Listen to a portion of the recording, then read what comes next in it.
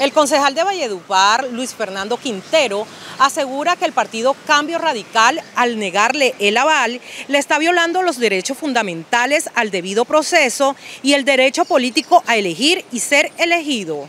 El senador Didier Lobo manifestó que no me daba el aval por unas declaraciones que dio mi padre, Eloy Chichi Quintero.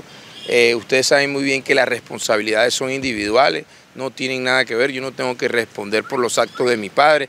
Sin embargo, interpuse la tutela con la finalidad de dejar un precedente jurídico porque se me están vulnerando mis derechos, coartando esa posibilidad de yo nuevamente aspirar al Consejo de la Ciudad de Valledupar, vulnerando mis derechos a elegir y a ser elegido y el debido proceso, ya que no tengo ningún proceso disciplinario ni por el Comité Ético del Partido Cambio Radical.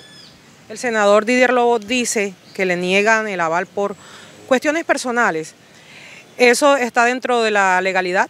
No, en el punto de la legalidad y de los estatutos del Partido de Cambio Radical no dice que por un tema personal o porque el padre diga unas declaraciones no tengan que afectar a alguien que ostente una credencial que le ha aportado al partido, que viene trabajando y que representa a la comunidad y a los que me dieron ese voto de confianza para ser concejal de la ciudad de Valledupar. ¿Cuándo tendrá una decisión para ver qué, cuál será la decisión, cuándo la obtendrá para ver si usted continúa en el partido Cambio Radical? Estamos a la espera de que el juzgado séptimo de pequeñas causas tome la decisión de manera urgente para que me hagan entrega del aval y poder aspirar a la contienda de octubre.